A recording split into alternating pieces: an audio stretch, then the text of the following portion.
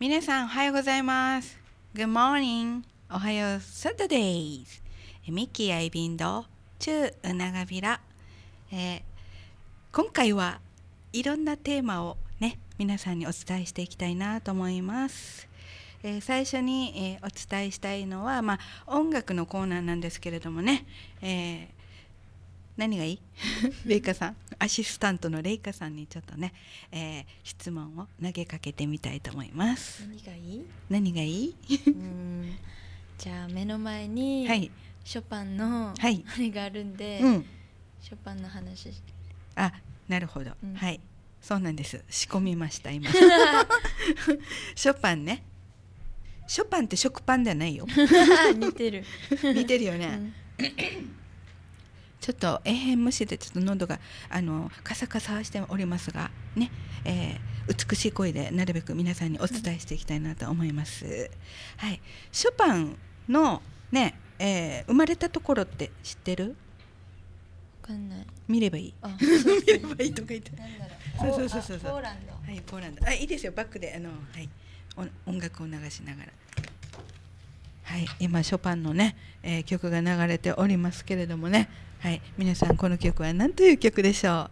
第一問のクイズです。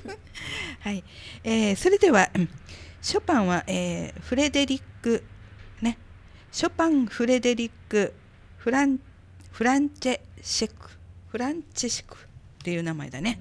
本名ねちょっと私ショパンとしかいつもねうんうん普段言ってないのでね、えー本名というのがこんなに長いとはね知らなかったね、うん。ヨハン・セバスチャン・バッハみたいな感じですね、えーだからショパンフレフレデリック・フランチ・シェクだね、えー性別は？男。うん。はい。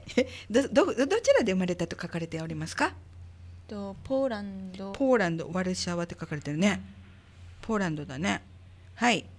で、えー生まれた日は？はいどうぞ。と3月1日。3月1日。2月22日、どういう説もあると、昔は曖昧だったそうですね、まあ、戸籍もねうん。あの遅れて出したりとかいうのがあったらしいので定かではないうんね、うん、今よりいい加減。実は先生の誕生日もね、ちょっと1ヶ月1ヶ月ぐらい遅れてるのよ、うんうん。うん。うん、うちの親に問いただしたら、うん。ちゃんと出したけど、うん。役所がいい加減だったと、うん。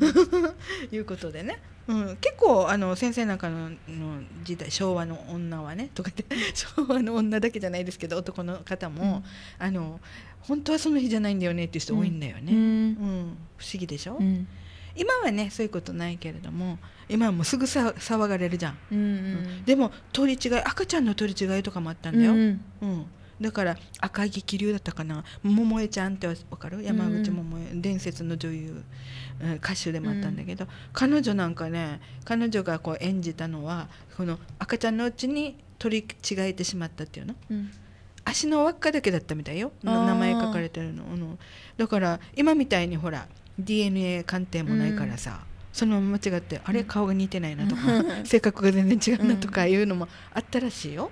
うん、だけどまあそうね、うん、まあね世界的にもねあの多いよねそういう取り違いっていうのはね、まあそれは置いといて。今ボポーランドの誰の話をどなたの話でしたっけ？ショパン。ショパンの話なんですよね。ショパンといえばピアニピアニストであり作曲家でもあり、うんという感じですけれどもね、えーまあね、えー今からちょっとショパンのあの、えーいろんな話をしてその後クイズにしましょうか、うん。ね、うん、では、まあ、皆さんこれはあー正解が入っておりますのでよく、ね、ゆっくり じっくり聞いていただきたいと思います。クイズに正解したらどうなるの？ってね。何かご褒美があるの？ってね、えー皆さんそうね。ちょっとうどういうご褒美があるのかな？なんてね、うん。思ってらっしゃると思いますがそうですね3問、えー今からね6問出しますので6問弱？あ,、うん。あなた何問作った？2問二問私3問あ5問だね、5問の中の3問以上正解をされた方にはね、うん。えー前回もそうだったんですけどもここ FM 宜野湾に来れる方いらっしゃれる方、ね、に限り手相のワンポイントアドバイスをさせていただきたいと思います。ワンポイントですからね、うん。うん、マネーであったり恋愛であったり対人関係であったりまた適切適職であったり、うん。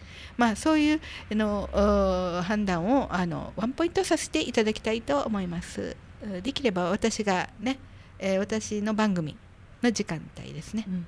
そうでなければあ直接あのミッキーの音楽教室にお電話をくださればねあの教室の方でもねあの、えー正解をされた方ね、うん。えーに限り、まあ、アドバイスをさせていただきます、えーそれではクイズの前にそれではショパンについて。はい、えーとてもおしゃれでセンスのいいショパン。まあ今でいうアイドルだったんですね、ショパンが今のようにのねねポロネーズねを弾くとポロネーズやノクターンとかねを弾くと今流れてる曲はよく胃腸の宣伝なんか何だったかな胃薬の宣伝だったと思うんですけども、流れてくるんですけど彼がピアノを弾くでしょ？周りにいるご婦人方またはね女性のあの皆さんがキャーってうん「キャー素敵って言って、うん。気絶してしまうすごいよ、うん、だから今でいうスマップ、うん。あ嵐？あもっとか？もっとだ誰がいる気絶するぐらい？うん、気絶するぐらい。なんだろうね。あビートルズだねもうもうもうもう恒例ではありますが日本に来た時はねみんなすごかったっていうよね、うんもう本当にあの、えー救急車がね、うん、もう本当にもうあ憧れすぎて、うん。うん絶叫して気絶するっていう方もね多かったっていうからまあ昔で言うとビートルズで、うん。今で言うと誰？韓国？韓流スター？なんだろう。もうファンからしたらうん。みんな気絶じゃないですか。どのアーティストでも。あそうだよね、うんうん、じゃあちなみにレイカさんは、えでかうん、そんないないんですよ熱狂的なみたいな。あそうなの、うん。よくライブ行くじゃん。ライブ？あまあ、うん。気絶するまでは。あ気絶するうん。あ冷静なんだね。そうだね。まあ先生は気絶する。先生もいないな、二人ともナルシーだからね、えーえーまあ、えーおしゃれであった。ということとあとですねモノマネが得意だったってよ、うん。いろんなね、うん、いろんな動物のモノマネが得意動で、うん、特にお猿さん。うんのモノマネが得意だったと言われてますね。動作は優雅。立ち居振る舞いがね洗練された物腰で女の人のねもう本当に、えー好きそうなね、えー体型をしてたと、うん。スリムでね、うん。背は高からず低低からずだったと思うんですね、うんうん。うん。まあショパンとリスト。リストもう一人あのあのピアノの天才と言われて、うん。まあ、長生きした90うん。92だったかな？92ぐらいまで生きた方がいらっしゃるんですけど、その方はまた背も高くて、うん。うん。あの87センチぐらいあったっていうけど、うん。ショパンさんはそうでもなかったみたいなんですね。まあね、えーただ手は大きかったと言われていますね、うん。手は大きかったと言われてますね、うん、あごめんなさい。それほど大きくないけれども柔らかいごめんなさい。手が大きかったのリストだ。はい、えーそれほど大きくなかったと書かれてますのでまあまあね。まあまあ。うん。ちょっと大きいぐらいですね。それほど大きくないっていうことがね、小さくはないわけね、うん。はい、えーヘラ型。広げるとあ広げると、えー、どからみまで届く？大きいじゃん。どからどまで私？うん。あなたもどからまあどどう？義理どうで？しょ、うん。でしょ？ということはまあ横横のねこの広がりこらほら、うんうん。えーがあの180度だったのかもしれないし、うん。えーまた今言ったように、あの手が柔らかかったということですね、でも身まで届くって言ったら立派に大きいよね、うん。まあ外国人にしてはまあちょっと大きいぐらいだったってことでしょうね、日本人にすれば大きいよね。絶対大きい。まあピアノもオクターブ届けばいいようにはなってるんですね。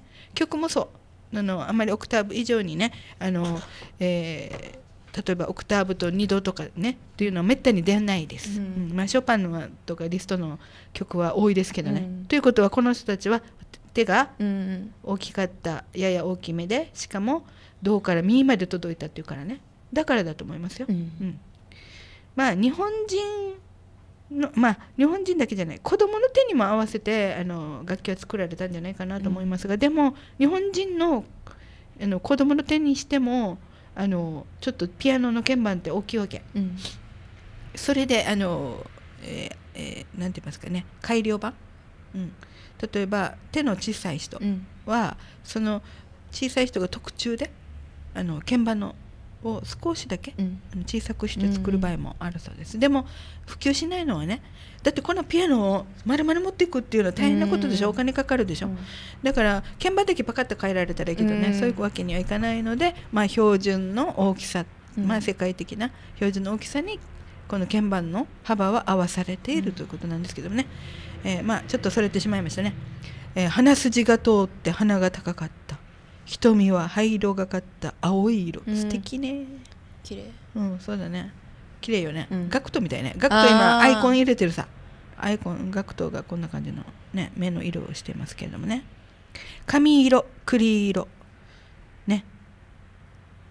金髪混じりの栗色。やっぱり俺背はあ背は高からず低からずじゃなくて低いか。157ってよ。デカと同じですよ。あれかと同じ、うん男子だったわちっちゃい。ちっちゃいよね。45キロってよ。モデル体型な。モデル体型だよね、うん本当にね、うん、らだったっていうからあまあまああんまり大きい方ではないね。うん。小さい方だねやっぱりね。ちっちゃい。57って言ったらね。まあでもねベートーベンより大きいんだよ。ベートーベンは。ベートーベンは153センチから4センチだったっていうかかわいいかわい。い。うん。私はねちなみに150ないです今。ショックとか言って。はい。ということですね、えーまだ若い22歳の頃アメリカに渡ろうと考えたこともあったということですね。もしもアメリカに行っていたらどんな曲を作っていたのでしょうかね？というふうに書かれてますね、えーショパンの作品の中でも特に有名な別れの曲って聞いたことある？たまに私はあのホテルでね、うん。演奏する時に弾くんですけれどもね、えーでもそう呼ばれているのは日本だけなんだって。ってうん。日本だけだそうです。まあねあの一説では、えーショパンが大好きなあの方がいて、ねまあ、ジョルジュサンドっていうねあの男装の霊人って言って、うん。まあ、男の格好をするあのちょっと変わった女性、うん。お好きになるんですけどね、まあ、そういう、えっと、恋人とのお別れの時に、うん。まあ、ジョルジュサンドだったかどうかは分かりませんがお別れの時に弾いていたという。まあ落としの曲だったかも。うん。恋人を落とすための曲だったかもしれないんですけどもまあねそういうことで「別れの曲」というタイトルがうん日本でつけられたん。ではないかと、ね。そうそう今か今流れてるのが分かるそうそうそう。聞いたことある？あるあるある。うん、そうなんですよ。亡くなったのは1849年10月17日ですね。はい。ここでねえっ、とモーツァルト今まで私紹介したのバッハもバッハねモーツァルトってねで、えーシューベルトあベートーベンも紹介しましたけど、うんうんうん。ベートーベンシューベルトですね。そして今ショパンを紹介してるわけですね。うん。はい、年齢的にはじゃあシューベルトとショパンはどっちが上だと思う？はいこれもクイズに出しましょうね後でね。はい、えーということですね亡くなったのはフランスのパリってよ。うん。さすが。おしゃれだね。おしゃれ。うん、モードの先端だね。そしてお墓があるのはペール・ラシューズ墓地。パリにあるそうです。最後までおしゃれだったんだね、うん。素晴らしいね。あ妹さんいますね。ほら。うん。イザベラとエミリア。っていう結婚したのかなっていうね、うん、ちょっと疑問ない、ううんん恋人はいたみたいなんですけどね、子供もいたのかなと思うんですけどもね。うん私はねこの方ねあのいろんな書物読んでね感じたんですけど、うん。ちょっとあのジェンダーだったんじゃないかなって。うんうん。だってジョルジュさんのも男装の霊人だから、うんうんうんうん。まあ、男っぽい人が好きだったっていうことは、ちょっとね女性にキャーキャーされすぎてもしかしたら男も女もいけたという、もしかしたらよ。もしかしたらだからね、うん、決定ではないよ、うん。はい皆さんもあのショパンのね、えーあらゆる、えー書物を読んでご覧になってください、うん。もしかしたらそのヒントが隠されているかもしれません。でも大体こういうおしゃれな方っていうのは、まあ、女性的な部分強いよね、うん。しかも繊細。そうみたいな。そう。繊細だったから、えっと曲を作る人っていうのは繊細なの。でどっちかといえばうー傷つきやすいタイプだったと思いますね、うん。ね妻はなしって書かれてるね、うん。うん、やっぱり生涯独身だったんだね、うん。ね。やっぱ可能性あるよね。うん。そういえばベートーベンもそうだったしね、うん。そういえばシューベルトもそうだったね。モーツァルトは結婚してたけどね。バッハもバッハはすごかったね。子だくさんね。24よ。いっぱいいた。24いっぱいいた。びっくりしたね。1ダースじゃなかった。24だった、うん。に20はい、えここでちょっと CM をお送りしたいと思います。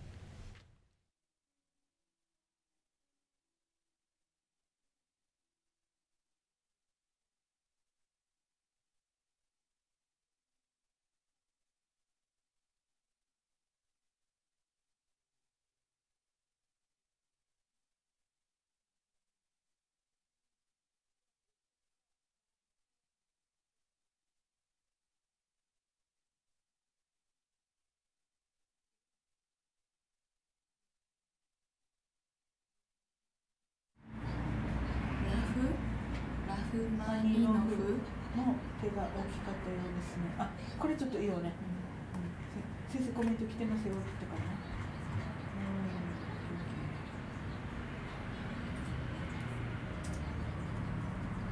すごいね。あと10秒です。はい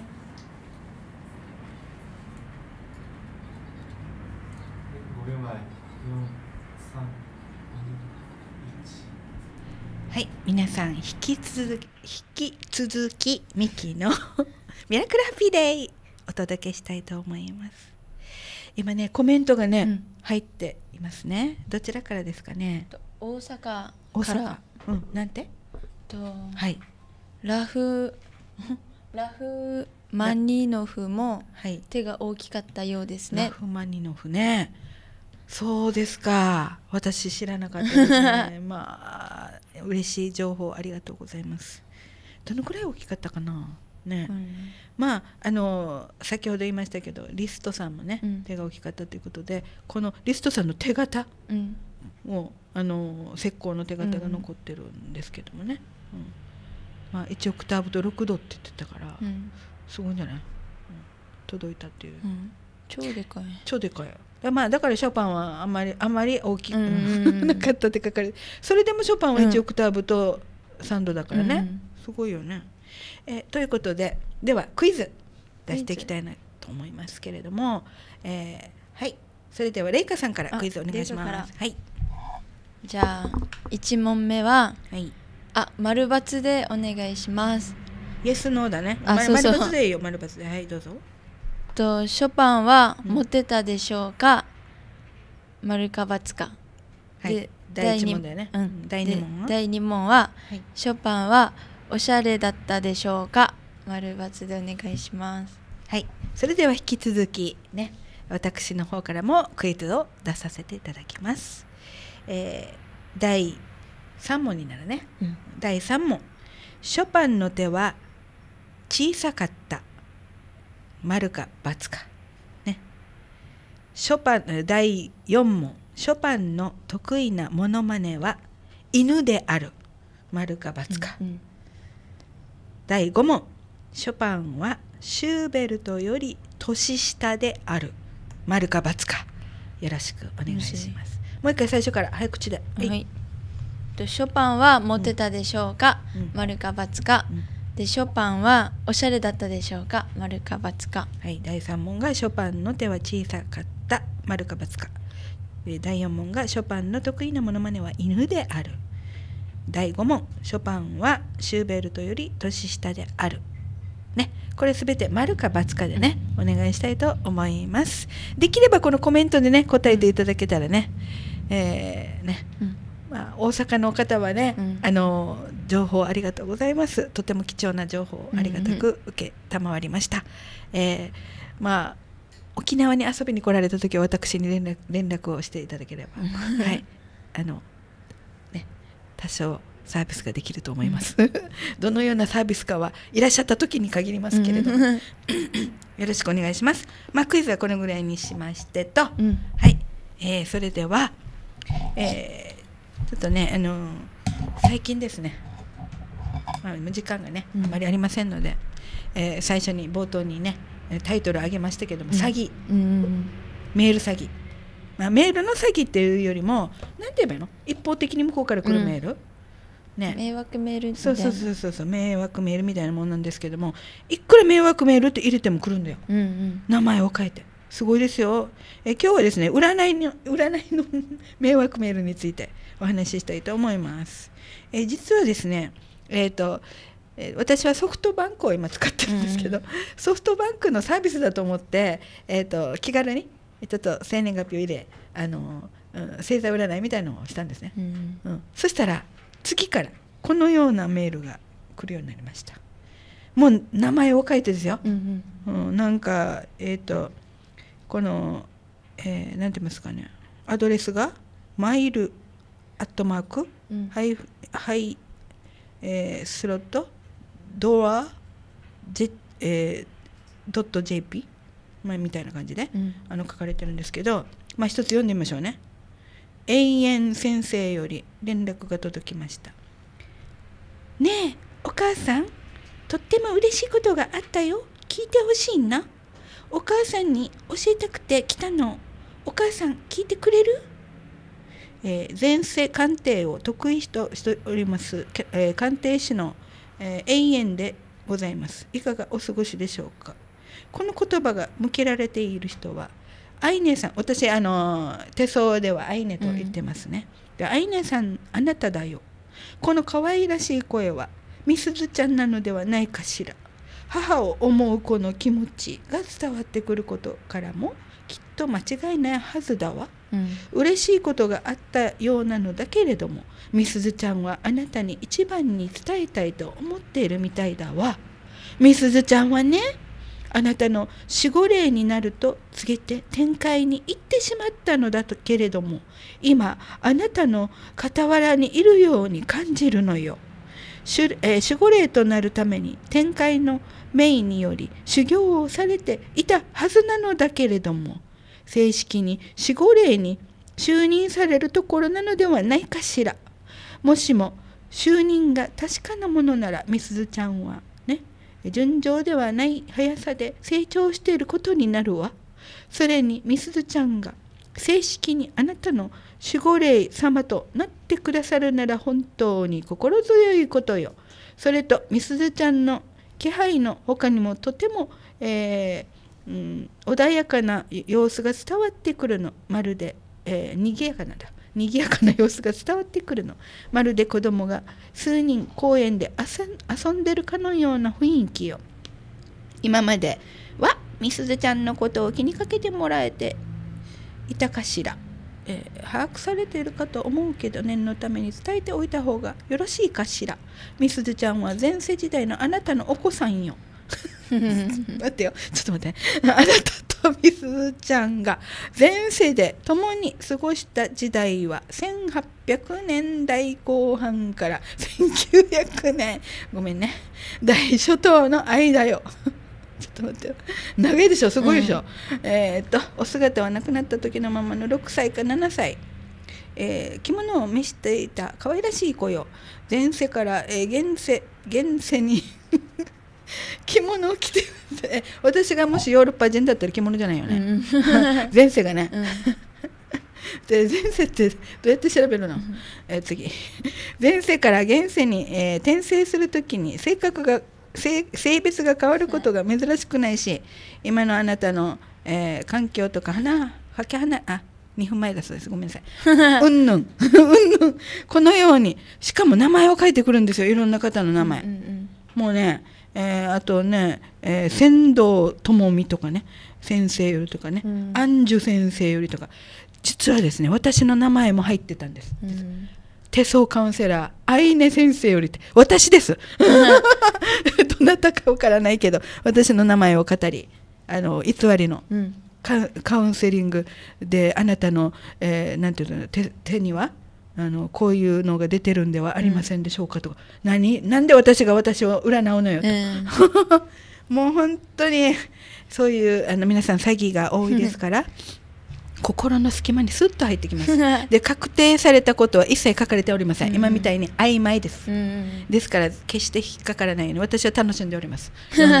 自分をポジティブにするためにね読んでそして消去消去、うん。えー迷惑メールにえー絶えず入れてるんですけどもね、毎日楽しみになりましたよ。今日はどうやって騙してくれるのか、そしたらねあの最近はね前に騙したあの同じ文章できます、面白いね。あ1分前です。はい、えーミッキーのミラクルハッピーデイ。はい、えー毎週土曜日の、えー11時半から、えー12時までの30分間の番番組です、えーミッキーの音楽教室。090-6858-4578 090-6858-4578に皆さんねあのお問い合わせください。あの私あの音楽のことなら多少のことはね皆さんの質問にお答えできるかな、うん。